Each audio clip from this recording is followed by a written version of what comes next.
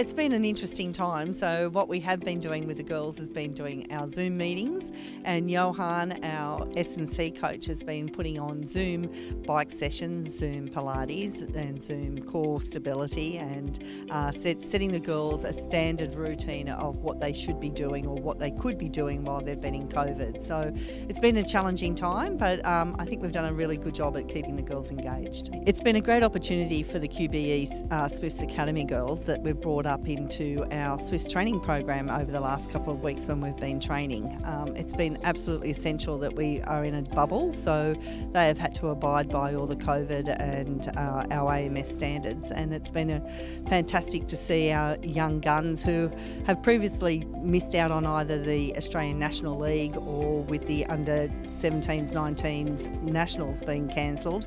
Uh, it's been great to see them get out on court and, and put it out there and, and test our Swifts. So uh, the QBE Academy has been a great addition to the Swifts um, training environment. One of our first ones is Leilani Rohwida, and she is uh, now working with the Penrith Association, and she's uh, a regional athlete who is now working in that wing defence centre spot, who has been showing great tenacity in what she can do on um, on how she's going about her business, and it's been a fantastic opportunity for her. Uh, we also have Kristen Kessler from uh, Central Coast, who's been coming down, and she's a mid courter who has uh, had a great uh, pathway through the Netball New South Wales pathway and now the QBE uh, Academy.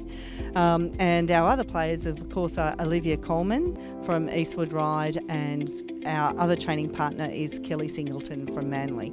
So uh, it's been a great opportunity for those girls to really challenge us and to provide them a training environment actually on court.